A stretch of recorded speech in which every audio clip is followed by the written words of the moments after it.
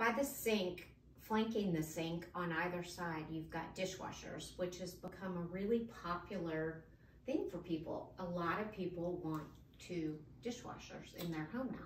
Exactly. We, we do double dishwashers on many of our homes these days. Um, it's just easy to to put everything in and do it in one load Mhm. or, or one at the same time. Right.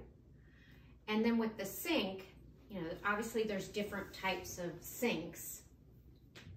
Yeah, this is this is a Shaw brand. Um, I believe they're made in England. It, it, it just your cut your farm sink, and um, it's a good product. We, we use this in a lot of homes that we do. We make the color is a nice white color. It goes with a lot of different kinds.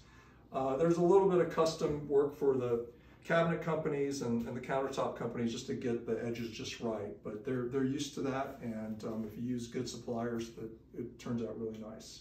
And I want to point something out to people. A lot of times people are like, oh, I don't want a white sink because then my cabinets are a little off-white. And if you look at everything in this kitchen, there's so many different variations of colors, but it again, it all comes together. Um, so having a white sink and a little bit creamier cabinets so they don't look like, you know, white cabinets and then, you know, with the, the brick and the iron, it's just um, very soothing.